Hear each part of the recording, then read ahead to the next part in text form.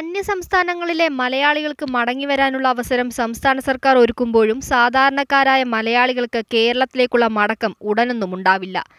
സ്വന്തം വാഹനമുള്ളവർക്കോ ടാക്സി വിളിച്ചു പോകുന്നവർക്കോ മാത്രമാണ് നിലവിൽ പാസ് കിട്ടുന്നത്. അതായത് ഇതിനുള്ള സാമ്പത്തിക കരുത്തില്ലാത്തവർക്ക് കേരളത്തിൽ തൽക്കാലം എത്താൻ കഴിയില്ല.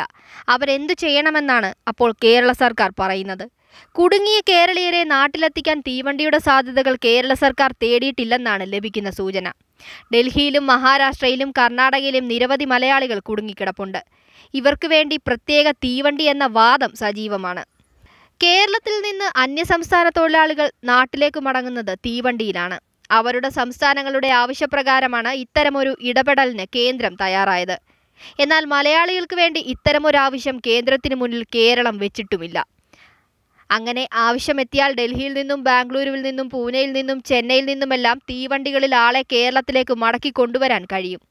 ഈ ആവശ്യമാണ് ഈ ഘട്ടത്തിൽ സാധാരണക്കാർ ഉയർത്തുന്നത്.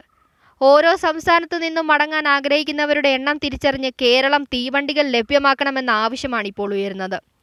നിലവിൽ റോഡ് വഴി മാത്രമാണ് യാത്ര.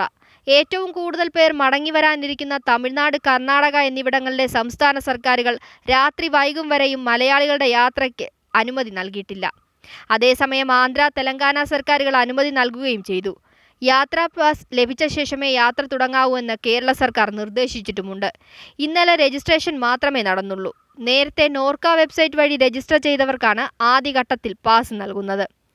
സ്വന്തമായി വാഹനമില്ലാത്ത ടാക്സിക്ക് പണമില്ലാത്ത ആയിരക്കണക്കിന് സാധാരണക്കാർ നാട്ടിലെത്താനാകുമോ എന്ന ആശങ്കയിലാണ്.